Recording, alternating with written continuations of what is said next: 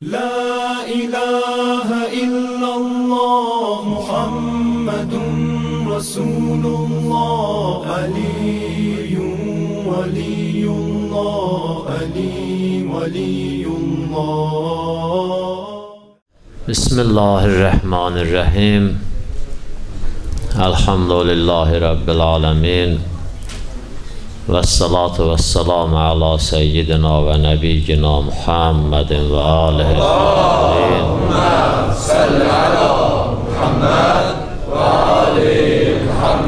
ولعنة الله على أعدائهم أجمعين. من الآن إلى لقاء يوم الدين. نحمده ونستعينه. رب اشرح لي صدري ويسر لي أمري واحلل عقدة من لساني yafqahu qovli sadaqallahul əliyyul əzim Allah Taala ibadət taatımızı qəbul eləsin inşallah.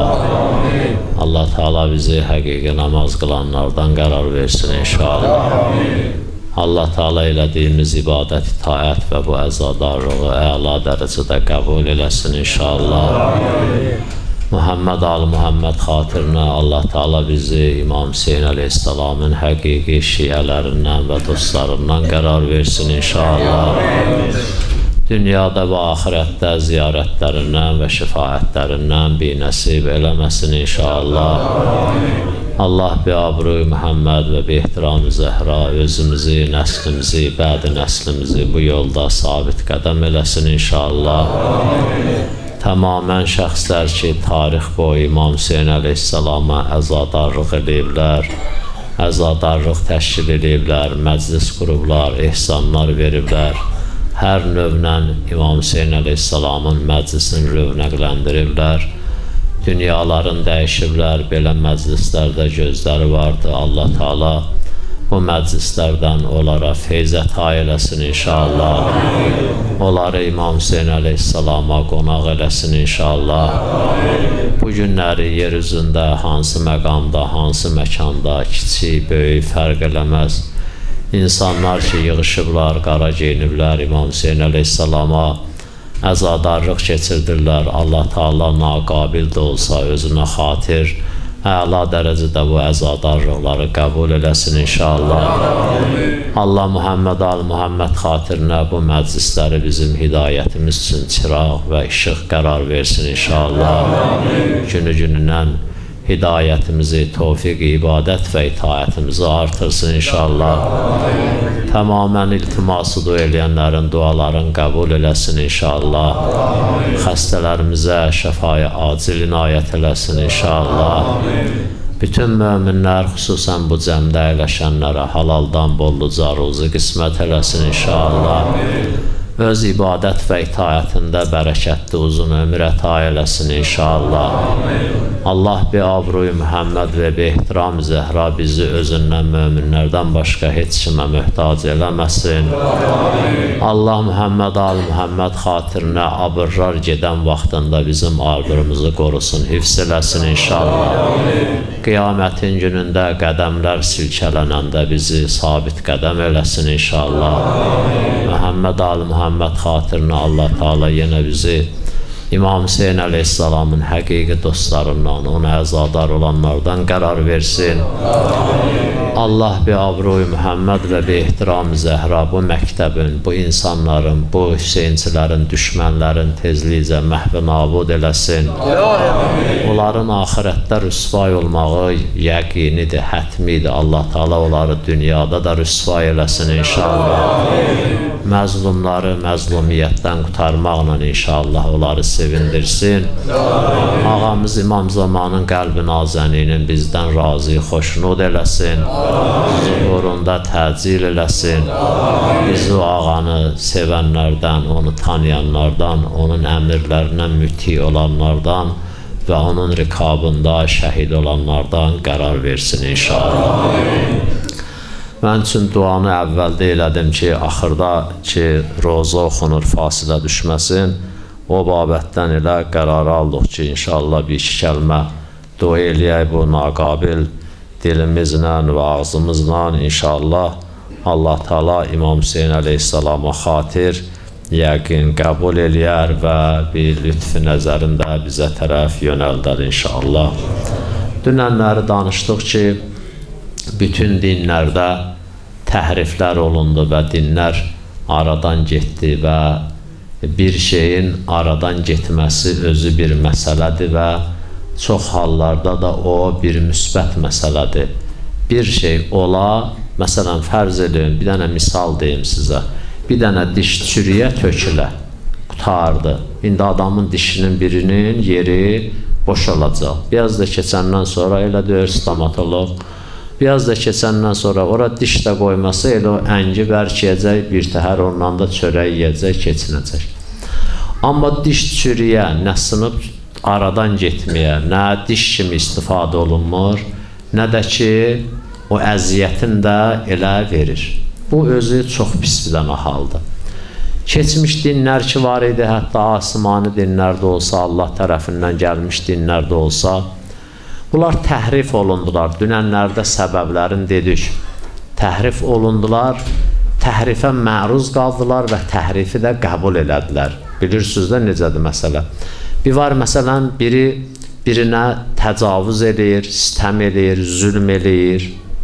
Bir də var, bu eləyir bunu. İkinci tərəfdə bunu rahatcasına qəbul eləyir, həzm eləyir. Heç bir müqavimət göstərmir, əksüləməl nişan vermir. Bu çox pisdir. Əgər müqavimət göstərsə, əksüləməl nişan versə və buna qarşı bu da öz gücünün müqabilində mübarizə eləsə, şəhiddir, qalsa qazidir, qiyamətin günündə Allah Taala İmam Hüseyn əleyhissalamla məşhur eləyəcək.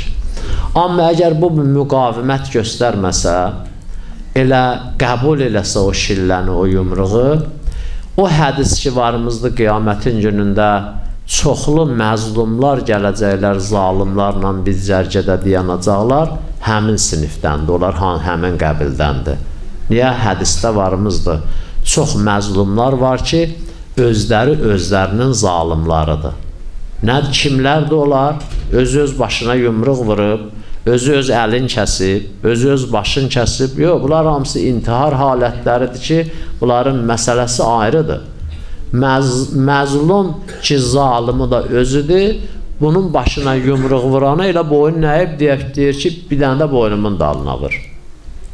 Və burada da bir neçə dənə əsər və təsir çıxır ortalığa. Biri budur ki, bu insan cinsinə, sinifinə ləkə gətirir. İnsan cinsinə və insan sinifinə ləkə gətirir. İki dənə keçi baş-başa gələndə, toqquşanda, birin ovuranda qayıdıb birin də üstəlik ovurur. Yəni o heyvanlığı ilə özün onun qabağında sındırmır. Və heyvanlıq adına neynəmir? Ləkə gətirmir və onun o adının paçlığı nə dərəcədədir? Neynəyir? Onu qoruyur, saxlayır. O da ona bir boynuz vurur. Özün sındırmır. Buradakı o tərəf şilləni qəbul edir, biraz da boynun əyir ki, vur. Bu e, özü o cinsi, sinfi insaniyyətə, noi insaniyyətə ləkədir. İnsanı belə zülm eləyən və təslim olan və aciz kimi qələmə verir. Bu bir məsələ. Ondan əlavə məsələ ki, mən bir neçə şey yadımda, necə birin ikisini deyərəm elə. Ondan da əlavə bu adam neyinir? Bu işi adiləşdirir və sadələşdirir. Elə deyir məsələn ki, bu birisinə də biri bir şillə vuranda deyir ki, elə o birisinə də vurdun. Öyünləri filan kəsə də bir şillə vurmuşlar da. Nə oldu ki? Bir şillə də dəydi keçdi. Bu yavaş-yavaş adiləşir. Bax, bir dənə misal deyim, 20 il bundan qabaqçı bizim televizorlarımızın vəziyyəti ilə bugünkü vəziyyətində. 20 il bundan qabaqçı e, televizorlarımızda çox xırda bir şeyə görə tez biz kanalları dəyişərdik, televizorları neynərdik? Söndürərdik. İndi hətta orada bəzi məsələlər var ki, ər-arvadın arasında gizlindi. Onları göstərəndə yenə Elə görsən rahat hamı baxır, uzaqbaşı bir balaca üzün bu yana döndərir. Bu nədən oldu? Yavaş-yavaş adiləşdi, adiləşdi, gəldi bu formaya düşdü. O zalim ki, məzlum ki, özü zalimdir, bunun ən böyük vurduğu fəsadlardan da biri nə oldu? o zalimin zülmünün genişlənməsində şərait yaratdı. Necə şərait yaratdı? Elə boynu nə idi? Dedi ki, siz də boynunuzu əvin bir şillə vursun, çıxsın, geçsin. Hətta dəlillər də gətirər buna. Ə kişi, sən bana şillə qaytarsan, qabağında deyənə bilətsən, məsələn, mümkün biri deyən, yox. De, onda niyə özü bəlaya salırsan? Qoy vursun bir şillə, çıxsın, geçsin. Halbuki bizim nə insaniyyət kitabında, nə də İslamiyyət kitabında belə bir şey yoxumuzdur. Bax, bu formanı yaradır. Siz üçün oxumuşam, o bir vaxt İmam Səccad əleyhisselamın Zöhriyə məktubun. Zöhriyə deyir ki, həmin elə o məktəbin bünövrəsin ki, dünənki danışdığa imamətin özün aradan apara bilmədilər, qabağında məktəb açdılar. O məktəb açanlardan da biri Zöhri idi ki, böyük alimlərdən biri idi. İmam ona deyir ki, o bitkə çörəyi ki, Allah Taala özünün şərafətli əli ilə sənə gətirib verirdi, sən onu verdin Bəni Üməyyə, haram elədilər, verdilər sənə. Verdin Bəni Üməyyə, haram elədilər, verdilər sənə. Məlum oldu, elə bil sənin özün qəşəng, halal, xumsu verilmiş pulu var idi, evdə xırda-xırda üstündən götürüb xərcləyirdin, Allah bərəkət də verirdi, çatırdı sənə. Alver eşqinə düşdün, verdin bir dənə hacıya, getdi market açdı, yarısında elədi araq, satdı, qarışdırdı sənin halal pulu, getdi neynədi? Hala haram elədi, verdi sənə. Deyir, Allah özünün şərafət əli ilə sənə çörək verirdi. Sən onu neynədin? Getdin, başladın, bən Üməyyənin əli ilə alıb, haram əldən alıb yemə. Bilirsiniz ki, bəzi şeylər yerin dəyişməklə də nə olar? Harama çıxar, məsələn. Su mübahdır, su pakdır, bulaqdan gəlir. Ondan hər cürə istifadə olamək olar. Amma o qızıl qabda olsa ondan istifadə eləmək olmaz. Dəstəmaz da ala bilməzsən. Məlum, eyni bunun kimi. Bəzi əl var, o malikiyyəti yoxdur o əlin. Ondan alıb yemək olmaz, haramdır. Və belə şeyləri deyirdi, sən yaratdın. O məzlumlar ki, zalimlıqları özlərindən idi, onların da qoyduğu bir dənə təsir budur. Bunun da başqa təsirlərindən işimiz olmasın, mətləbdən çox uzaqlaşmayaq. Bunun bir cəhəti də var, deyim sizə, yadınızda qalsın. Bu məzlumlar ki var, zalimlıq özlərindəndir. Yəni, bayaq dediyimiz misalda boyunların əyirlər ki, buna şillə vırsınlar. Bunların bəzən kampaniyada olur ha. Qurulma şeylər də olur ha. Ki, sən əy boynu, mən bir şillə vırım, səncə səhərə qədər 5 dənə masajist gətirəcəm, sənin boynu masaj edəcək. Qoy bu bir başqalarına dərs olsun. Tarixdə də belə bir şeylər oldu. İlk münafiq ki, üləmadan böyük məraceylərdən biri dedi ki, İslamda nifaqın bünövrəsin Əbdullahı Übey qoydu. Həmin o hənzələ var idi, qəsilül məlaikə. Mələklər Ühüd müharibəsində ona qusul vermişdi ha. Onun qaynatası idi. Onun qaynatası idi. Hə, e, e, ağa dedi ki, dedi, İslamda nifaqın bünövrəsini o qoymuşdu. 300 nəfərə qədər adam özü ilə yığmışdı hazırlamışdı ki, biz Ühüdə çatar-çatmaz yarı yolda qaydacaq. Yarı yolda qaydacaq. Ki, min nəfərdən 300 nəfər qaydanda da gör nə boyda azalacaq cəmiyyət. Məqsəd nə eləməkdir? O həqiqətdə, həqiqətən gedənləri də dala qaytarmaq idi. O idi ki, onlar 300 nəfər münafiq onunla çıxdı ora. Düzdür onların içərisində üzə düşüb və hidayət olub, gedənlər oldu, qayıtmayanlar oldu. Amma o elə 300 nəfərdən də çoxun bu birisi öz komandasından olmayandan da bir dəstəsini qoşdu özünə neynədi? Gətirdi. Bax, bu formanı işlədirlər bu günlərdə və bundan da qabaq nədir? İşlədirlər. Görsən biri çıxır efirə deyir, mən də Məşədiyəm, mən də Kərbəlayıyəm, mən də haca getmişəm. Belə danışır. Nə olsun Məçə, Məşədə gedibsən, Kərbəlayı. Elə İmam Hüseyni öldürən Kərbəlalı idi da. İmam Rıza əleyhissalamı öldürən Məşədli idi deyilə. O bir üstünlük idi bəyən, bu əməllə belə. Məlum. Məsələn, bizim öz üzümüzə deyirlər. Siz də dəfələrlə eşitmişsiniz. Necə yəni çalğılı toy məsələn, gedib filan molla ilə oğluna çalğılı toy elədi. Filan molla məsələn qızına çalğılı toy elədi. Elə arvad kişi bir yerdə elədi. Aşı o molla deyir, o uləmanın birinə deyirlər ki, sənin tələbin oğrudur. Deyir, niyə? Deyir ki, yox, deyir, mən bizim tələbədən oğru olmaz. Deyir, vallahi oğrudur. Sizin tələbə. Deyir, ki, bizim tələbə olmaz. Deyir, axı, sən onun başına əmmamə qoyubsan. Deyir, hə, elə onu da məndən oğurladı. Onu da məndən oğurladı. Məlum, o molla deyir də, indi belə də əli başqa iş tutmaya düşüb gəlib keçib yana. Birdən hətta molla olsa da belə, Şüreyh Qazi da molla idi də. Şüreyh Qazi da molla idi. Ömər Səəd də molla idi də. Molla Əbdullah deyirdilər də. Ömər Səəd, Əbdullah ibn Səəd də Molla Əbdullah deyirdilər ona. Hə, məsələn, görürsən, biri çıxır deyir ki, hə, içili məclisə getmək olar ya içkili məclisdə bir formada iştirak eləmək. Dünya da yığışır, onu soxur sənin gözünə görsən, filan kəs belə deyir. Qardaş filan kəsin deməyindən deyir ki, şəriət belə demir də. Ay Sistani elə demir. Ay Xamni elə demir. Ayətullah Vəhid Xorasani elə demir. Şübeyri Zəncani elə demir. Safi Qulpaqani elə demir. Ayətullah Həmədani elə demir. İmam Xümeyni elə demir. Ayxoyi elə demir. İmam Sadiq elə demir. İmam Baqir elə demir. Həzrəti Əli elə demir. Allah elə demir. İndi bir dənə dılğırın biri çıxır elə deyir. Sən bu qədər adamı niyə verirsən onun ayağına? Məlum, bunlar bəzən kampaniyalar olur. Düzəltmə şeylər olur ki, nə olsun, bir nəfəri də allatmasa, on nəfəri də allada bilməsə, heç olmasa bir iki nəfəri, bir nəfəri nə edəcək? Alladacaq. Məlum. İndi sözüm bundadır. O keçmiş dinlərdəkilər ki, təsir qəbul elədilər, onlar ki, çürüyüb aradan getmiş din kimi oldu, o laf yaxşı. Əsəri də itdi, çıxdı, getdi. O qədər özün Peyğəmbər elan edənlər var. Nə qədər var elə bu iki ilin içində YouTube-da görmüşük. Bir deyir, mən İmam Zamanam, qarnımdan İmam Zaman oxşayıram. Bu külbaş İmam Zamanın qarnını harada görüb, qarnımdan. Biri deyir, məsələn, başımdan İmam Zaman oxşayıram. Biri deyir, qolumdan İmam Zaman. Görürsən, hamısı həba ən mənsuradır. O tozun küləyin qabağında olmağı kimidir, məhv olub gedirlər. Bunlar o qədər problemli məsələlər deyir. Ona görə də keçmiş ümmətlərdə, o keçmiş dinlərdəki təhrif olundular, getdilər, o küllən getdilər aradan. Belə biraz oradan buradan bəzi şeyləri qaldı ki, bizim gözümüzün qabağındadır.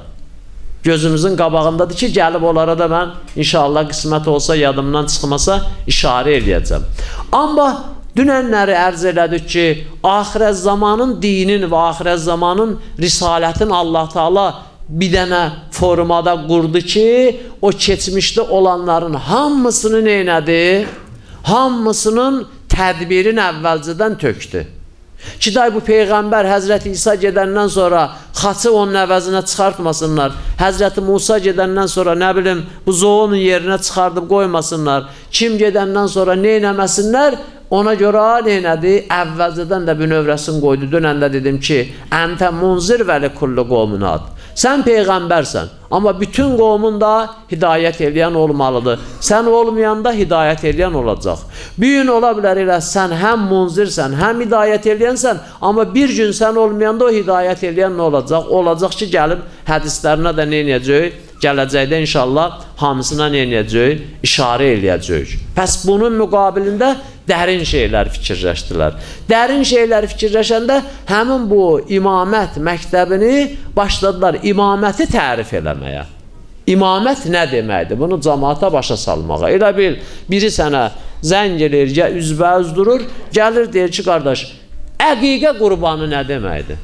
Sən də başlayırsan deməyə. Deyirsən ki, əqiqə qurbanı bir dənə gərək heyvan alasan, ondan bilmirsən axı. O heyvanı kəsəsən, qəşəy-qəşəy doğrayasan, ondan sonra bişirəsən onu, yiyəsən, ondan da sonra qutardı. Bu oldu əqiqə qurbanı. Sonra gedir o birisinə rast gəlir, deyir, qardaş, əqiqə qurbanı nədir?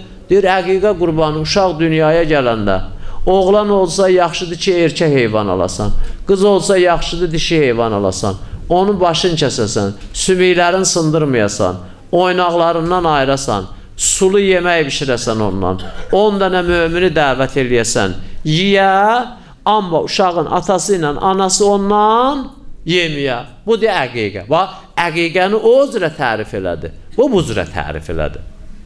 Gəldilər, imamət bəhsi haçandan başlayıb, inşallah bu gün çatdırsaq, bu gün çatdırmasaq, sabahda bir gündə ona işarə elərik. Gəldilər, bu ki, Peyğəmbərin ölümün gözləyirdilər, bunlar öz hakimiyyətlərinə gəlsin. Bu mövzuda da danışmışıq, bilirsiniz ki, hətta bunlar e, müqavilələr də yazmışdılar, imzalar da qoymuşdular. Kərbəla bunu mən dəfələrlə sizə demişəm. Biraz qırağa da çıxsaq. Kərbəla hadisəsindən sonra Kərbələdəki faciə Əbdullah ibn Ömərə elə təsir elədi. Həmin o öyünlərdə danışdım, ya cümədə danışdım. Əbdullah ibn Ömər ki, Məkkədə gəldi İmam Hüseynə yalvardı ki, getmə, bunlar səni öldürəcəklər. İmam da ona dedi ki, məni öldürsələr də getməliyəm, çünki dinin yaşamağı mənim bunları ya qalmağımla, ya ölməyimlə məhv eləməyimə bağlıdır. Bunların gərək Bəni Üməyyə hakimiyyətin mən silkəliyəm. Ya qılıncımla, ya qanımla. Amma Əbdullah, Allahdan qorx bu yolda mənə də kömək edə. Keçən dəfələrdə də danışmışam Əbdullahın e, avtobiografiyasının nə idi? ki, Maviyə ilə biət elədi, Əli Rəssalamla biət eləmədi, İmam Həsənlə biət eləmədi, Yezidin məsələsində qaldı kənarda. Məd bir tərəf qaldı. Amma Yezid Mədinədə, Peyğəmbərin şəhərində qətli am eləyib, hətta əskərlərinə Mədinənin qızların, gəlirlərin halal eləyəndə öz qohum əqrabasının hamısını yığdı başına, dedi bu qiyamın əleyhinə, yəni Yezidin bu işin əleyhinə hansı çıxsa məndən döyür. Həccac ibn Yusuf da gəlib Mədinədən keçib Məkkiyə Zübeyr oğlanlarının əleyhinə onları suqut eləməkdən, aradan aparmaqdan ötürü gedəndə ki, gecə Məkkədə, Mədinədə qalası oldu, Əbdullah gecə ilə, danışmışam da bunu sizə, gecə ilə getdi Həccac ibn Yusufun görüşünə. O da yatmışdı. Dedilər, Əbdullah ibn Ömər gəlib. Gəldi, nəyə gəlmirsən? Dedi, gəldim ki, biət eləyim səndən. Həzrət Peyğəmbər deyib, kim ölsə, zəmanəsinin imamı ilə biət eləməsə, cahiliyyət ölüsü kimidir. Amma əgər onların öz proqramı ilə baxanda, onların öz proqramı ilə baxanda, Maviyə də nə idi? Xəlifə idi. Gərək onunla da biət eləydi. Hətta əhl-i sünnənin müətəbər rivayətləri ilə və əqidələri ilə ki, İmam Həsən əleyhissalam xulafai raşidindən idi, onunla da gərək biət eləyirdi. İmam Hüseyin əleyhissalamla da gərək biət eləyirdi. Gərək bu Yezidlə də biət eləyirdi. Ki, bunların heç biri olmadı, amma Həccac kimi bir məlun ki, 20 illik, neçə illik hakimiyyətində bir şəhər valisi ola-ola, hacı 20 min nəfər adam öldürdü. Zindana saldığı adamlara 20 il idi zindanda idi, girəndə əynində nə paltar var idi, elə o idi. Hamam yox idi, yuyunmaq yox idi. Azmaz yemək verirdi, ona da kül qatıb verirdi ki, hamısı qaralsın, zənciyə çevrilsin və qul kimi istifadə eləsin ondan. Və belə bir adam idi. Dedi, gəldim səndən biət eləməyə. O da dedi, əlim da yorğanın altındadır, əlimi bir də çıxartmayım, əyağım çöldədir, elə əyağımla biət elə və onun əyağı ilə biət elədi. Bunu bütün əhl-i sünnə mənbələri yazır. Misal da deyərlər, məsum imamın əlini öpməyəndə gedərsən həccac kimi adamın əyağını öpərsən. Yaxçı, burası belə. İndi bax, gəldilər tərif eləyəndə bu cürə məsələlər çıxartdılar ortalığa. İmam Hüseyin əleyhissalama da bu məsləhət verəndə getmə, İmam Hüseyin əleyhissalam dedi, Allahdan qorx, neynəcinən? Məni, mənə köməklik elə. Allahdan qorx, mənə köməklik eləginən. O dedi ki, məni bu məsələdə məzur bil. Amma icazə ver, o Peyğəmbər öpən, həmişə ki, Peyğəmbər boğazından öpərdi, sinəndən öpərdi, ürəyin üstündən öpərdi, icazə ver oradan öpüm. İmam Hüseyin əleyhissalam da ona icazə verdi.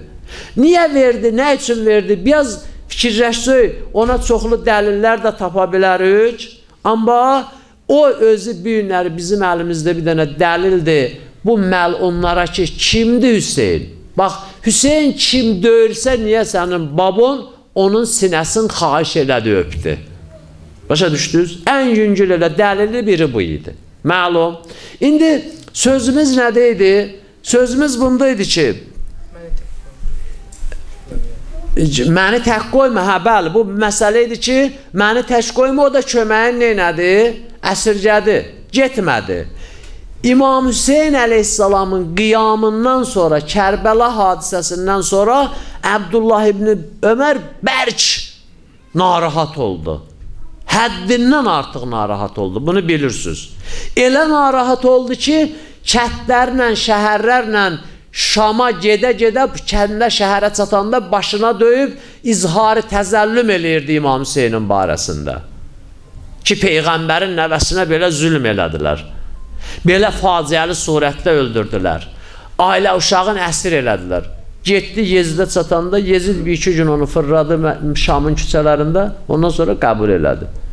Dedi, nə hakim salıbsan? Çıxartdı, dedi bu sənin dədöyün yazdığı məktub, bu da imzası da altında. Mənim dədəmin də imzası var orada, sənin dədöyün də imzası var orada, birinci xəlifənin də imzası var, ikinci xəlifənin də imzası var, nə bilim Malik ibn Ənəsdir kimdir, onun da e, ya Cəbəldir, onun da imzası var. O əşəri mübəşşərədən hamısının dediyi imzası var da, o Təlhə ilə Zübeyri çıxmaq şərti ilə, çünki onlar sonradan döndülər də. Bu imza, məktub yazılmışdı. O xurma bağlarında ki, bunlar dincəlirdi, Həzrət Peyğəmbər də Əleyhisselamın e, dizinin üstünə başını qoyub yatmışdı. Bir gəldi bir nəfər də salam verdi Əliyə dedi Əssalam əleykə ya əmirul müminin Peyğəmbər ayrılan ailəmdən sonra dedi kimsə gəlib bura. Dedilər bəli bir nəfər qeyri-adi adam gəlmişdi. Bu Əliyə salam verəndə buna dedi ki əlimirəl müminin Həzrət Peyğəmbər də dedi ki bu Cənab-ı Cəbrəil imiş. Mübarək olsun ya Əli sənə. Əsbəhtə və əmsəytə əmirul müminin Döndün sən möminlərin əmiri oldun. Bu ləqəb sənə məxsusdur. Hətta İmam Sadiq əleyhissalamdan rivayət varımızdır. Əmirul müminin ləqəbin başqa imamlarında heç birinə demək caiz deyil. Caizliyinə dəlalət edən hədislər də varımızdır. Amma dəlalət caizliyinə, caiz olmamasına da dəlalət edən, hə, İmam Sadiq əleyhissalam biri gəldi də, Əssalamu aleykə ya əmirul müminin. İmam dedi ki, dilin qurusun, bilmirsən o ancaq cəddi məliyə aiddir. Məlum. Bax, orada yığışdılar, təzədən getdilər, biraz o yanda oturdular. 10 nəfər, neçə nəfər imzaladılar ki, Peyğəmbər öldü, biz hakimiyyətimizi bərpa edirik. Elə orada da ayə gəldi. Muhammedun Resulullah əfəin matə ovqut ilə inqələbtum ələ əqabikum. Muhammed sallallahu aleyhi və aleyhi və səlləm Allahın rəsuludur. Ölə ya öldürülə siz qaydacasız keçmişizə. Kim də keçmişsinə qayıtsa və o, o da minəl xasirin, ziyankarlardandır. Batduz da siz məhv oldunuz. Müşrik kimi babalarınız ki dünyadan gedib, onların vəziyyəti sizdən yaxşı olacaq. Niyə? Çünki onlar bir zamanda bir burhədə yaşadılar ki, Peyğəmbərin nidasını eşitməmişdilər Köhnə peyğəmbərlərdə deyək ki, hələ o biraz uzaq olmuşdu. Amma siz gəldiniz, möcüzəsini gördünüz, iman gətirdiniz, təzədən qayıtdınız keçmişizə. Məlum, mürtəd oldunuz. Bax, bu bir dənə məsələ idi, bunların təmənnası idi Peyğəmbərin öləndən sonra iş görməsinə. Elə ki, Peyğəmbər cəhdi imamət məktəbin bu formada təsis elədi, bu formada Peyğəmbər məktəbi təsis olandan sonra Nə oldu? Bunlar gördülər ki, bizim o işimiz alınmayacaq. Hətta dedim də o məktubu da yazdılar, saxladılar bir-birini ötürə-ötürə, hələ Yezdin vaxtında Yeziddə idi. Da ondan sonra kimdədir bilmirəm, yəqin indi bir nəfər də olar bunlardan. Ha? Bu cürə bunlar gəldilər, nə eləyək, nə tər eləyək? Şeytanın siyasətini elədilər. Tövbə surəsi Tövbə surəsi diqqətlə qulaq as, təzə oturubsunuz, hələ yorulubsunuz. E, Tövbə surəsi gələndə şeytan çox narahat oldu. Neynəyək, nə təriləyək? Axı bu ömrünün axırında 70 ildən sonra gözü ilə də işarə eləsə tövbəyə Allah bunu bağışlayacaq. Neynəyək? Hərə bir söz dedi, dedilər gəl təxirə salaq tövbəni. 20 yaş dedəş 30 yaşında qılarsan, 30 yaş dedəş sənin tayların hələ indi göz açılır, ortalığa çıxır. İndidən sən bədbəxt eləyib özünü namaz qılırsan. 40 yaş, 40 yaşında deyirlər, əşi hələ indi sənin tayların Truskavesdən, Soçidən səsi, Antalyadan səsi gəlir. Sən də bir get gəz dolan filan bəsməkən 50 yaşında deyirlər, əşi, də elə də 50 yaşım var. Sabah qoy biraz da qocal nuraniləş, ondan sonra nuraniləşdirən də ibadətdir. Qoca var, 80 yaşı var, şümürün sifəti ondan nuranidir. Mənim va bu canıma and olsun. Elə biri var idi, birinə deyirdi. Deyirdi, mən şümürü görməmişəm. Amma mollaların dediyinə görə Allah haqqı şümürdən bir tük əsküyün yoxdur. Deyirə, tozsun şümür kimisən. Hə? O ibadətlə nuraniləşir də. Belə nur gəlməz ki adama. Məlum? İndi, baxın, neynədir? Bunlar gəldilər, neynəmək istədilər? Bu işin hə, şeytan dedi təxirə salaq. 70 yaşında da çatanda dil yox, hərəkət yox. Amma başa düşüb, həqiqi başa düşüb. Gözü ilə işarə eləmək istəyəndə ki, tövbəsin, şeytan deyir, külbaş var. Gözlə tövbə olar. Və sənə nə olub ki? Elə belə soyuq dəyib, kiribsən. İndi duratsan, yenə at çapatsan. Durarsan, sərhal, qəşəy, o bodru olanda, cümrəh olanda neynərsən? Namaz qılarsan, Allah qəbul edəcək. Oradan da qaydanı görübsünüz. Adam ki, gözün basırlar da, o getdi də, məlum. Bu dedi bu cürə, əlacın bu cürə sapdılar. Eyni bax bunun variantın, dedilər Peyğəmbər təhsis elədi özündən sonra canişin. Peyğəmbər nübüvvəti Həzrəti İsa'nın nübüvvəti kimi, Həzrəti Musanın nübüvvəti kimi, Həzrəti İbrahimin nübüvvəti kimi, Həzrəti e, Süleymanın, Davudun nübüvvəti kimi dayanmadı. Bu məktəb davam edir. Davam edir və nə eləyək? Dedi, gəlin o məktəbi tərif eləyək ki, dünənləri iki dənə tərif oxudum. Bir dənə başqaları müxaliflərinin nəzərindən, birində öz nəzərimizdə. Müxalifət dedi ki, imamətu, əl imamətu riyasətun ammətun fi umuri dini və dünya xilafətun ən-nəbi. İmamət bir dənə ümumi rəislidir, Dünən dedim, kolxoz sədrliyi kimi bir şeydir, həm də Peyğəmbərin yerində nədir? Canişindir də. İndi kolxoz sədri Peyğəmbəri nə tərəvəz eləyəcək, onu mən bilmirəm. Elə belə olar da, ordusu da gələr olar, işit. Vəhhabi. Ondan sonra məhrəmlə izdivac eləməyi caiz bilən. Ananı bacını halal bilən. Ondan sonra cihad nikahın e, halal bilən nə, nə, nə, nə, nə qədər istəsən say. Da kolxoz sədrinin çıxartdığı hökm özür olacaq da. Amma biz nə dedik? Biz dedik ki, İnnəl əimmətəl qaiminə məqaməl ənbiya dünən oxumuşduq bunu. O əimmələr ki, Peyğəmbərin yerində otururlar, nədən ötürüdülər? Fi tənfizil əhkam, əhkamı cari eləməkdən ötürüdülər. Və iqamətül hüdud, Allahın həddlərin qaim eləməkdən ötürüdülər və hifz-i şərayi, dini və şəriəti qorumaqdan ötürüdülər və tədibil ənam və bu cəmatı ədəbləndirməkdən, tərbiyələndirməkdən ötürüdür. Tərbiyə əsas məsələdən biridir. Ha, gecə namazı qılan min rəkətdə əvvəlinə, axırına nafilə qoşa, ədəb əsas məsələlərdəndir. Ki, hədisdə də varımızdır, la imanə limən, la ədəbələ. O adamın ki, ədəbi yoxdur, onun imanı yoxdur. Bir dənə farsı şey var, deyir, kərdəməz əqli sual, bequ iman çist.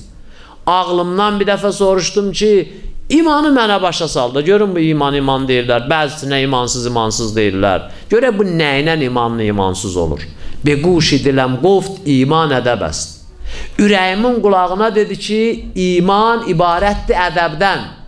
Adəmi zat ki, bi ədəbət insan nist, O Adəm zat ki, ədəbsizdir. O heç insan deyir. Ona görə bəzən Allah Taala heyvana, bəzən arıya, bəzən o milçəyə, bəzən itə, bəzən nəyə nenir? Quranda misallar vurur. Fərq mabeyni insan, heyvan ədəb əsl. İnsanla heyvanın arasındakı fərq nədir? Ədəbdir. İmam ki, Peyğəmbərin yerində oturur, onun bir vəzifəsi də tədibül ənamdır insanları insanlara mədəniyyət öyrətməli idi. Görürsüz mədəniyyət bu günlərinə günə qalıb, incə sənət bu günlərinə günə qalıb. Baxın görün şeiriyyatı nə ediblər? Nəyin üstündə qurublar? İmam Rıza əleyhissalam da şeir deyib. Əli əleyhissalamın şeirləri var ha. Ey, necə şeirlər? Vallahi billahi Füzuli gərək dirilə bəlkə ona izah el verə bilər. Füzuli bəlkə dirilə gəlib ona izah verə. Şeirləri var ha, belə əcib qərib şeirləri. Ki, mənim indi bəlkə də zehnimə düşmür ona görə ki, vaxt uzalar onu deməyə, amma çox dərin şeirləri var. Əslən, Həzrəti Əli belə bir ədib idi ki, misli yox idi. Girdi məscidə, gördü nədir?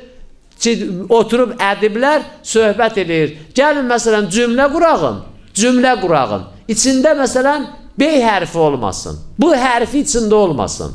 Ya məsələn T hərfi içində olmasın. Cümlə güclə balı ilə bir iki dənə cümlə qurmuşlar. Həzrət Əli gəldi, oturdu, dizə çöktü. Bunları yarım saat moizə elədi ki, içərisində nə bu hərfi oldu, nə T hərfi. Əslən bir dənə xütbə ilə bir söz danışıb, əlif hərfi yoxdur. Siz bilirsiniz ki, əlif hərfi də ərəbdə deyil, dilin nə idi? Sütunudur. Görün nə boyda ədibdir həzrət. Baxın Nəhcül bəlağəsilə görün də ədibliyin onun. Şeirləri də nə? Onun kimi. Şeirləri də onun kimi. Əslən, imam olmasa, imamla uzaq düşsə şair, gəlib layıqya şeir yazacaq. Yenə heç olmasa, layka şeir yazmalıydı. Adam əvəzinə getdi, ora gəldi, adamlara dedi ki, siz də gedib gələ bilərsiniz. Mən ki, getdim, gəldim, siz də gedib gələ bilərsiniz. Axı, indi adamlara, bəzi adamlara şeir yazırlar ki, Allaha and olsun, əgər layka dirilib qiyamətə gəlsə, ki, heyvanat da gələrlər, o adamların üzünə tüpürəcəklər. Ki, siz mənə də şeir yazdınız, buna da şeir yazdınız. Leyl nə də şeir yazdı, Laikiyə də şeir yazdı. Ədəbi hörmətdən, ədibliyi hörmətdən, incə sənəti hörmətdən saldılar. İmamın vəzifələrindən də biri insanlara ədəb öyrətməklidir. Mədəniyyət, incə sənət, ədəbiyyat bu şeyləri insanlara çatdırmaqdan ötəridir. Biz bu cürə tərif eləyirik. Özdə məsumunə kə ismətilənbiya. Özdə bunlar Belə hər adamla olmaz. Bayaq dediyim kimi, kolxoz sədrindən Peyğəmbər canişini olmaz. Gərək məsum olsun, eyni Peyğəmbərlər kimi. Baxın, bu iki tərif. Mən İmam Rizanın da oxuyacam. Bir dənə də Ehqaqul Həq kitabında deməli, e, bizim alimlərimizdən imaməti tərif eləyəndə belə deyirlər. Yorulubsa bir dənə salavaz zikr elə. Allahümə salli alə Hələ təzə başlamışıq. Xahiş edirəm yorulma. 5-6 dəqiqə qalıb qutar. Rozaxan da deyəsən elə gəlməyib. Gəlib, hə, deyən yavaş-yavaş hazırlaşsın. Deyir, hiyə bizim alimlərimizdən imamı tərif edir. Hiyə mənsəbun ilahiyyun. İmamət bir dənə ilahi mənsəbdir. Qəşəng, dünən qəşəng qulaq asırdınız, mən də qəşəng qulaq danışırdım. Mən də qəşəng qulaq asırdım sizə. Yadınızda dünənlər dedim orada iki nəfər danışır ha. Onu tutmuşdum. Amma o qədər indi qarışıqlığı var. Dalğa çoxdur, şey antina tutmur. Hə, biraz sakit olun. Hiyə imamın sizin o İmam Hüseynizi tərif edir ha bu alim. Gəlmişsiniz onu bəzən də şikayət edirsiniz ki, bir şey bilmirik. Mənbər məscidə gəlir, arvadlar bir-biri ilə danışır. Kişilərin qeybətini eləyir. Kişilər də alverdən danışır ki, bazar bağlanıb, dükan bağlanıb, alver yoxdur, nə bilim pul yoxdur, pensiyanı vermirlər, karta pul oturmayıb. Ala o cəhənnəmə oturmayıb da, kartla yerdi. Bir şey al, sən fikirləşmə, onu qoy Allah fikirləşsin sənin yerə. Allah gör ki, sən fikirləşirsən, ona görə möhməl eləyib, buraxıb. Elədir. Bir adamın dərdini özü çəksə, başqası onun dərdini çəkməz ki. Amma sən o dərdi ki, Allah çəkməlidir, sən nə çəkirsən? Sən İmam Hüseyni tanı. Sən İmam Hüseyin əleyhissalamı tanı. Məlum. İndi tərif eləyir. Deyir, hiyə mənsəbun ilahiyyun. İmamət bir dənə ilahi mənsəbdir. Peyğəmbərdən, baxın, bir dəfə də diqqət eləyin. Bayaqçı nə demişdi o birisi? Xilafətun ənin nəbi. Peyğəmbərdən bir xilafətdir. Yəni peyğəmbərin yerində oturmaqlıqdır. Hacı Ceyhun, sən də gedib otura bilərsən orada onların nəzərinə. Mən də gedib otura bilərəm. Sabit də otura bilər. Hamı. Kim gücü? Hətta dünənləri dedim, bir nəfər zülm yolu ilə də gəlib, müsəlmanların başını kəsəcək. Məsələn, Həccac ibn Yusuf da otura bilər orada. Baxmayaraq ki, Allahu Əkbər, əşhədü ən la ilahə illallah, əşhədü ənə Muhammedən Rasulullah sallallahu aleyhi və aleyhi və səlləm deyənlərdən 20 mininin başını kəsmişdi. 20 mininin başını kəsmişdi. 20 mininin zindanda acından öldürmüşdü. O da gəlib otura bilər. Niyə? Çünki deyir, xilafətun ənin nəbi. Peyğəmbərin yerində oturmaqlıqdır. İndi kim teccatda otura bilər? Məlum. Amma biz nə deyirik? Hiyə mənsəbun ilahiyyunu. İmamət bir dənə ilahi mənsəbdir, ilahi vəzifədir. Mənsəbun ilahiyyun haizun li cəmi şunil kərimə. Bütün kərimə olan mərhələlərin hamısını ehtiva eləməlidir. Hamısını ehtiva eləməlidir. Vəl fəzail və bütün fəzilətlərin hamısı onda olmalıdır. Nə qədər Allah fəzilət yaradıbsa, hamısı bunda olmalıdır. Nə qədər Allah kəramət yaradıbsa, hamısı bunda olmalıdır. İmamətlə nübüvvətin müqayisəsi bəhsində ki, ayə varımızda hansı üstündür, inşallah sabahaya, birisi günə onu bəhs eləyəndə gəlib danışacaq onu da. Buna da işarə eləyəcək. Bütün nə qədər, mənə qulaq az, nə qədər Allah altında Allah yaratmış kəramətlər və fəzilətlər var, hamısı imamda olmalıdır. Bir adam iki gün namazı qəzaya getsə, Allahın yaratdığı fəzilət və kəramətin hamısını özündə ehtiva eləyə bilməz. İki günün fota verdi də. O da bəzi şeydir ki, qəza ilə düzəlməz.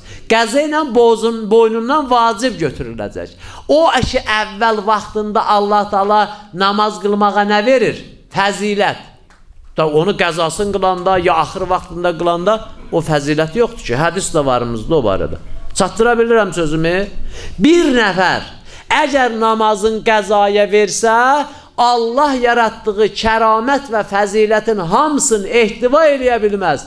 Çünki o bərpa olunası şey döyür. Orucluqda, oruç tutanda Allah Taala bir ayə Quran oxumağa nə qədər savab verir?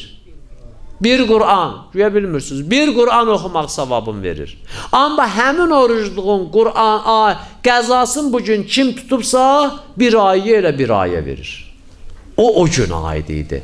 O fəzilət əvvəl vaxtına aid idi namazın. Necə ki, insanın yaş dövrlərində də elədici ibadətlərə görə Allah Taala fəzilətlər verəcək. Amma insanın hər yerdən əli çıxandan sonra önləri dediyim kimi, hə? Nə haramdan çəkinməyə ehtiyacı yoxdur bunun. Niyə? Çünki bunu daxilən harama baxmağa, çək, harama tərəf çəkməyə heç nə bir şey yoxdur. Hə? Ondan sonra dost tanış hamısı qırılıb çıxıb gedib. Bir dənə Əsad almır oğlu, halbuki oğluna vaxtında ey, bərk gedən maşınlardan almışdı. İndi bir Əsa almır ki, ona söykənə-söykənə çıxsın, küçəyə heç olmasa gəlib gedənə bir salam versin, görsün danışa bilirəm, ya dilimi də itirmişəm. Hə? Evdən də çölə çıxa bilmir. Neynəyim, neynəməyim, Allah nə işlə məşğul olum? Bəlkə başlayım namaza. Bəlkə başladı bu namaza. Özdə bəlkə ilə başladı, konkretlə başlamadı. O da bekarçılıqdan başladı. Əlbəttə, həmin adamla İslamın qıldığı namaz nədir? Eh, yerlə göy qədər fərqi var. Yerlə göy qədər fərqi var bunun. Bu müqayisə olunması nədir? Məsələ deyil. Nədən danışırdıq? Allah!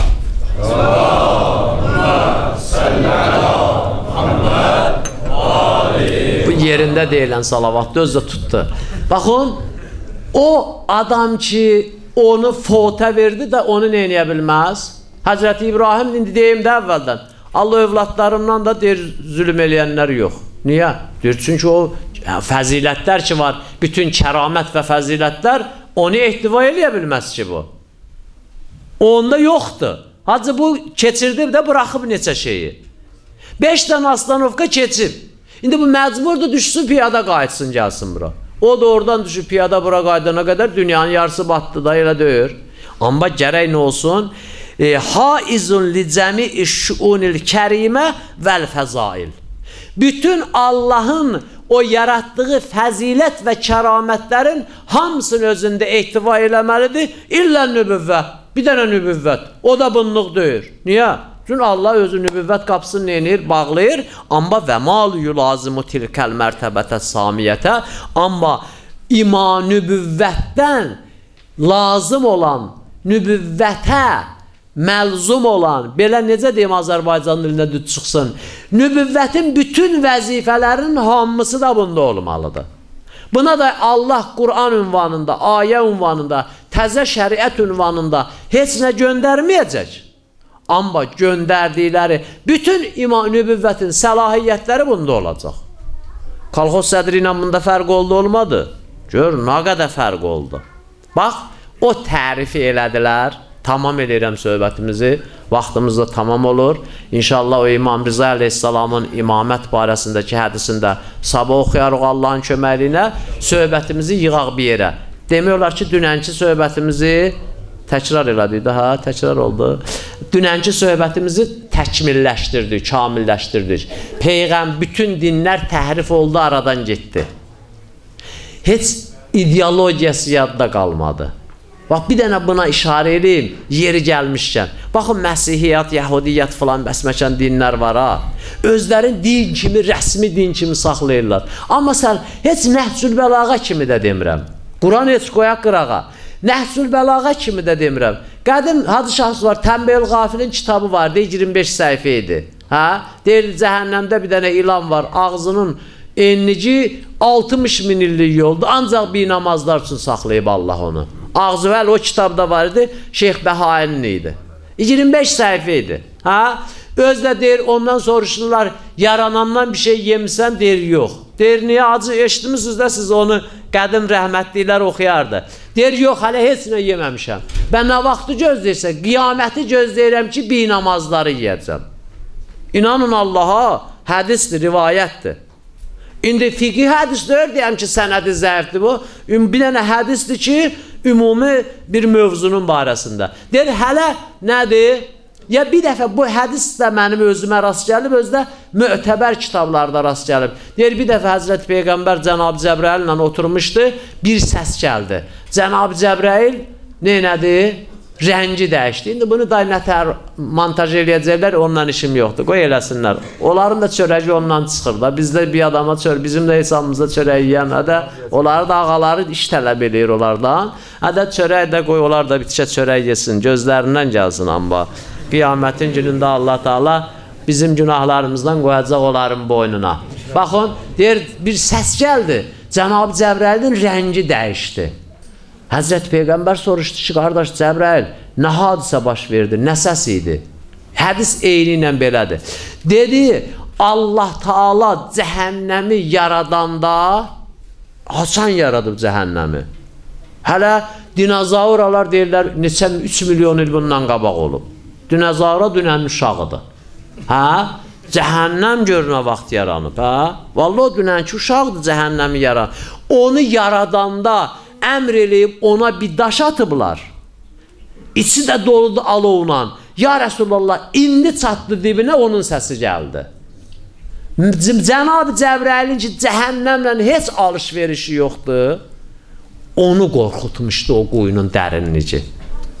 Soruşdu Həzrət Peyğəmbər ki, əxi, ya Cəbrail, o quyunu Allah kim üçün yaradıb? İndi buranın söhbəti deyir, bu üçün hamı namaz qılıb oturub burada. O quyunu Allah nə üçün yaradıb? Dedi, bir namazlar üçün. O nə qədər günah əhli olacaqlar, ha, onların quyuları ayrıdır. Balaxanı quyusuna yadına tökəcəklər onu. Amma məhz bir namazı o quyuya tökəcəklər. O əcdaha da dedi ki, mənim ağzım qiyamətə qədər möhürlüdür. Ancaq nə üçün açılacaq? Bir namaz üçün açılacaq ağzım binamaz üçün açılacaq ağzım. Bu söhbəti niyə gətirdik, bura çıxartdıq? Baxın, biz istəyirdik məsələni cəm eləyək, toplayaq, yığaq bir yerə. Məktəbin ki müqabilində, məktəbin ki müqabili, hə, o təmbil qafil deyir, yadıma düşdü. yadıma düşdü. Qocalıq da gedir, gəlir, gedir, gəlir. O Tənbel Qafil kitabı var idi, acı 25 səhifəlik. Rəhmətli Molla Əhməd İlyad oxuyardı ondan. Ruhuna bir salavat zikr eləyər. Allahumma salli ala Muhammed 25 manata, onun səhifəsini 1 manata satmışdılar o vaxt mənə. 25 səhifə idi, 25 manata almışdım. Baxın bu günləri özdə belə çox da mötəbər kitab deyir ha bizim kitabların içində. Deyə hamı oxuyar onu. Bu günləri Məsihiyyatdan, Yəhudiyatda ideologiya, kitab, dini əsər adında hətta bir tənbel qafil qədər kitabı yoxdur. Hətta bir tənbihil qafilimiz qədər kitab yoxdur. Amma baxın görün İslamda İbn Əbil Hədid deyir: "Ən-Nəhcul Bəlağa əxul Quran." Sünnə alimi deyir ha. Nəhcul Bəlağa Quranın qardaşıdır deyir. Həzrəti Əlidən qalıb. Bax, imamət məktəbi peyğəmbərdən canişinlik, yəni kim gəlsə otursun yerinə, onlar da Məsihiyyatın tayı. Heç bir tənbel qafili qalmazdı. Elə o indi bax bu ehqaqul həqqidən oxuduğumuz tərif əsasən ki, imamlar oturdu orada, İslamın bu boyda əsəri qalıb. Və onların tərifinə baxanda, qaydaq onların tərifinə. Onlar ki, dedi, riyasətun ammətun fi umuriddini və dünya. Dünya və e, e, din e, məsələlərində ümumi bir dənə rəisli idi, kolxoz sədri idi və Peyğəmbərin də yerində bu adam otura bilər. İki dənə hədis oxuyum sən üçün, buna aid. Tamam, bax. İki hədisin bu vərəqin bu üzündədir. Həzrət Peyğəmbər bilirsiniz nə deyir? Deyir, mən qorxuram ümmətim üçün. Əxvəfu. Dedilər, ya Rəsulullah, qorxursan? Dedi, əxvəfu. Çox qorxuram. Dedilər, ya Rəsulullah, nədən qorxursan? Dedi, çox qorxulu şey var. Şeylər də demədi ha. Çox qorxulu şey var ki, mən ona görə nə edirəm? Ümmətimlə qorxu, ümmətimə görə qorxuram ondan. Onlar ümmətimə böyük zərbə vuracaqlar. Bax, həmin adamlardır ki, indi oxuyacam, görəcəksiniz ki, imaməti bu cürə tərif eləyib, Maviyəni xilafətə gətirənlərdir. Yezidi xilafətə gətirənlərdir. Hişam ibn Əbdülməlik, Əbdülməlik ibn Hişam, Ənan, Ömər ibn Əbdüləziz, nə bilim, Mənsur Dəvanəqi, Harun Ər-Rəşid, Məmun Ər-Rəşid, Möhtəsim Billah, Ondan sonra bunların adını demirəm, öyrənəsiniz, deyirəm, lənət oxuyasınız. Ona görə çəkdim. Allah hamısına lənət eləsin. Bax, bunların hamısı həmin tərifdən sonra gəldilər, Peyğəmbər canişinin oldu. Özdə yekə-yekə mollalar gəlirdilər məhzərlərinə, deyirdilər, salam olsun əmirul mümininə. Bax, Həzrət Peyğəmbər bu cür adamlardan ümmətinə görə qorxub. Deyir, əşəddu ma yətəxəvvəfu əla ümməti səlasətun. Ən şiddətli o şey ki, ümmətimə görə qorxuram ondan, üç dənə şeydir. Bir, zullətü alimin, alimin sürüşməsi, zəlalətə düşməsi.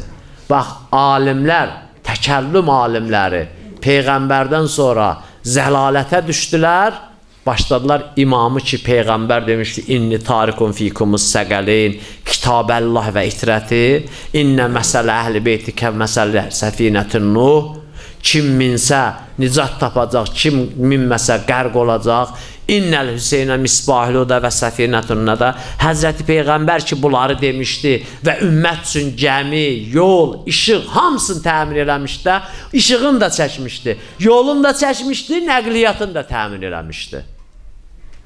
Ya er, e, Fatihə surəsində gəldi çıxdı ihdinə sıratəl müstəqim. Ya Rəsulallah, sıratəl müstəqim hansı yoldur? Əlin qoydu belə əlini çiynə dedi, haza sıratül müstəqim. Sıratı müstəqim budur. İmam Hüseyni dedi, nicat gəmisidir. Hidayət çırağıdır. Əli Əleyhisselamın da dedi ki, sıratı müstəqimdir. Pəs Həzrət Peyğəmbər yolu da çəkdi. İşığı da yandırdı ki, işıqlı yol olsun, qaranlıq olmasın. Nəqliyyatı da təmin elədi. Amma bir dəstə alimlər nə elədi? Gəldilər ülə zullətu alimin. Sürüşdülər Həzrət bu məktəbi təsis elədilər bu məktəbin müqabilində. Həzrət dedi, ən şiddətli qorxum bu alimlərdəndir. İkinci, bu laf müsibətədir. Va müsibətə budur. Cidalu munafiqin bil Qur'an. Məni qorxudan ən böyük şeylərdən də biri ümmətimə görə münafiqin Qur'anla gəlib bəhs eləməyi. Çox əfsus olsun, bir gün şiə də gəlib deyir, Quranda deyir, baxı sizə qorxu yoxdur səfərdə namazı qəsri qılmağa. Bəz niyə bütöv vacibdir, bütöv qılırıq. Şiə gəlib durur, deyir ki, Quranda deyir ki, fəla cünah əleykum. Qorxu yoxdur səfərdə namazı qəsr eləyəsiniz. Yəni şikəstə bütövdə qıla bilərsiniz. Deyirəm ha qardaş, o sənlidir, o molla işdir. Yox, mənə nə olub?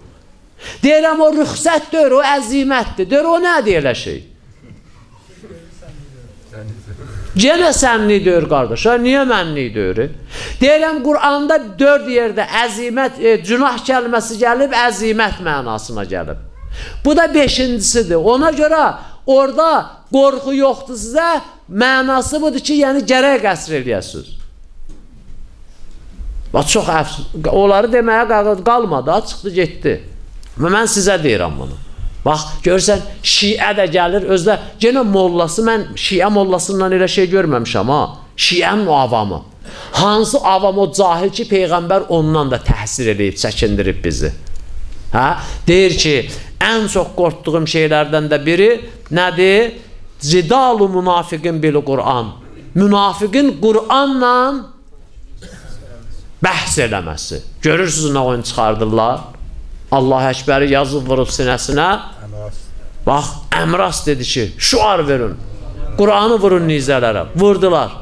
Ən, baxın, görün necə tutur münafiqinə münafiqin dalğası. Əgər möminlə möminin antinası elə tutsa, avallahi, billahi, dinin heç bir çətinliyi, nə də möminin heç bir çətinliyi olmaz. Amma münafiqlə münafiqin dalğası gör necə tutur. Cəbhənin o başında Qulaq as, bəlkə də bu sözü eşitməyibsən. Cəbhənin o başında Əmras məlum, münafiqin böyücü, Qur'anı vurdu nizələrə. Cəbhənin bu başında Həzrəti Əlinin arxasında olan avamlar onu görən kimi ayə yadlarına düşdü. Əl hökmü lillah. Əl hökmü lillah. La hökmə illa lillah. Görsün necə ayətdir bu o münafiq. Qur'anı niziyə vurmaqla buradakı avamları ayətdir, onların ağzına söz atdı. Tez onu görən kimi biraz yaxşı çatdıra bilmədim, amma düşür də yerinə. Ha? De, o münafiq oradan Quranı qaldıran kimi bu buradan avamdır. Bilmirdi Həzrəti Əliyə nə bəhanə eləsin ki, malikəcləri qaytardala. Bilmirdi nə bəhanə eləsin ki, Maviyə ilə öldürmə Maviyəni, Maviyə ilə sülh elə. Tez münafiq bir dənə buradan Qur'anı nizədə qaldırtdırdı. Burada da avam müminin, cahil müminin yadına söz düşdü. La hökmə illa lillah. Oldu əlində bir dənə böyük dəlil və gəldilər sinəsinə Əli əleyhissalamın qılıncı söykədilər ki, Osmanın başına gələn işi sənin başına gətirəcək, əgər Maviyyə zəfər toxulsa. Həzrət Əlinin dalında neçə illərdir qılınc vuranlar birbaşa Maviyyənin müdafiəsinə çevirdilər. Çevrildilər. Niyə? Çünki münafiq Qur'anı təfsir edirdi. Münafiq Qur'anla bəhs eləyirdi. Necə bugünkülərə baxın? Deyir, bizə ancaq Quran. Deyir, amma dədön evin Quran yıxsın. Quran sənə qənim olsun. Onun üzünə əsrət qalasan. Başın üstündə heç fatihə də verilməsin. Səni belə Yahudi kimi aparıb baş aşaşıq bastıraq ki, qəbri də nədir, az yer tutsun da, başqalarını da bastırmaq olur. Axı sən bu Qur'an, bütün hökmlərin hamısını Qurandan öyrənibsən. Namazın rəkətinin sayını öyrənmirsən Qurandan. Ondan sonra nə bilim şəkkiyatı öyrənmirsən Qurandan, səhviyyatı öyrənmirsən Qurandan. Ondan sonra oyunun başının kəsilməyinin öyrənmirsən Qurandan. Hansını öyrənmirsən Qurandan? E? Hansı əməli edən ki, bunu Qurandan öyrənmişəm. Əslən namazın yarısını bərtdən qılırsan, yarısını yavaşdan. Onun niyə bərtdən qılılanlar zöhr, şamla, xiftdən, sübdü yavaşdan qırılanlar zöhrüdür, əsridir. Bunları hardan öyrənmirsən? Əşi, hardan öyrənmirsən? Quranda Allah deyir və ənkuhu ma tabələkum məsna. Nikah elə bu kəbini ki mən sənə kəsirəm, amma çox vaxt pulunu da vermirsən, çıxıb gedirsən ha. Bu kəbinin bu forma kəsilməsi Quranın arasındadır. Ay bədbəxt. Bax, Həzrət Peyğəmbər dedi, əşəddu ma əxvəfu əla ümməti ən şiddətli şey ki, mən ümmətimə görə qorxuram, nədən ibarətdir? Münafiqin Qur'anla neynəməyi? Bəhs eləməyi, Qur'anla sizin üstünüzə dəlil gətirməsi və qorxduğum şeylərdən biri, iki dənə hədisim qaldı. Gələn sabah üçün müqəddimə olar, eyb yox, buradan başlarıq. Dedi ki, tək yək təvri qabəkum. Bunlar nə edəcək? Sizin boynuzu sındıracaq. Gördünüz necə sındırır? Və bu gün də sındırır ha. Şaqqıltısına məsihilər, şaqqıltısına Obama orada bayram eləyir. Şaqqıltısına Obama orada bayram eləyir. Bax bu həmin o imamətin düzgün verilməyən təfsirinin nəticəsidir. Allah Muhammed Ali Muhammed xatirinə bizi imamı tanıyanlardan qərar versin inşallah. Kərbəlayının da salamatlığına salavat zikr eləyək. Biraz vaxtı da qəsb elədim ha.